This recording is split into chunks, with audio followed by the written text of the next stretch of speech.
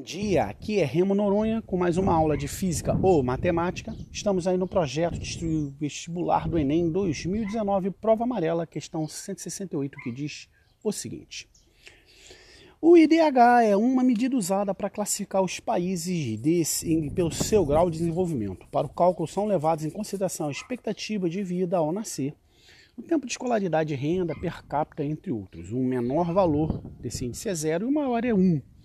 Cinco países foram avaliados e obtiveram os seguintes índices de desenvolvimento humano.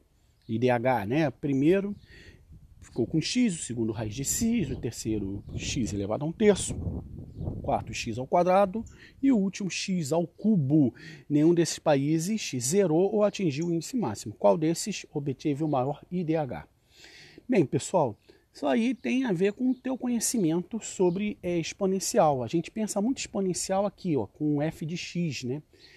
Que é, b é um número b fixo, né? por exemplo, 2 elevado a x, e você tem essa curva aí ascendente, sendo que quando o teu x, o teu é, x for igual a zero, né, a tua medida aqui vai dar 1. Então esse ponto que eu estou marcando aqui, vou até pegar em preto para vocês enxergarem, tá? A mistura aqui de azul com vermelho, esse ponto aqui é o ponto 01 tá? dessa exponencial aí.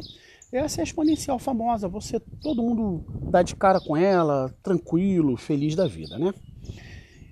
Só que você está trabalhando com um número, repara aqui que ele está falando que é um número que está entre 0 e 1. O número que você vai trabalhar aqui é um número entre 0 e 1. Então, vou trabalhar com essa exponencial que está aqui em vermelho, em que esse teu número A está entre 0 e 1 aquela anterior é para um, ter um número B maior do que 1.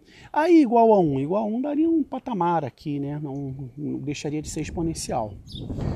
Bem, pessoal, nesse caso, ela passa a ser descendente. Se você botar seu valor de x aqui, ó, entre 0 e 1, quanto maior for o seu, o seu expoente, menor vai ser seu resultado. Então, x é x mesmo, isso aqui é x elevado a meio, x elevado a um terço, x ao quadrado e x ao cubo. Então você tem que procurar o menor deles, que é x elevado a um terço, que é a mesma coisa que raiz cúbica de x, que você vai ter o melhor resultado. Se você sabe isso, beleza. Vai lá, marca a letra C de cachorro louco. Só que é, eu gosto sempre de testar as coisas com números, porque é, mostrando assim função, eu sei que para algum de vocês é um pouco sofrido. Aí eu queria pensar com um número que tivesse a ver com potência de 2 e de 3, porque se você olhar aqui os números, ó, peraí, aqui ó, x elevado a 1, x elevado a meio, x elevado a 1 terço, x elevado ao quadrado, x elevado ao cubo. Então eu queria um número aí que tivesse a ver com 2 e 3, então eu estava pensando em 6. Como era um número entre 0 e 1, eu fiz uns rabiscos aqui de 2 elevado a sexta dividido por 10 elevado a sexta. Então, 2 elevado a sexta dividido por 10 elevado a sexta, esse número é 0, uma porrada de zero aí, 64, sendo que você vai ter 1, 2, 3, 4, 5, 6 números depois da vírgula. Enxergamos isso aí? Beleza, porque é, ele é dividido por 10 elevado a sexta. Legal? Então teu x ficou. Opa, deixa eu voltar aqui. Desculpa, seu x ficou com essa carinha aqui.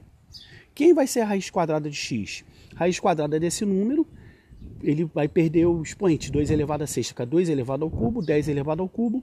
2 elevado ao cubo, você viu que, viu que o número aumentou quando você extraiu a raiz?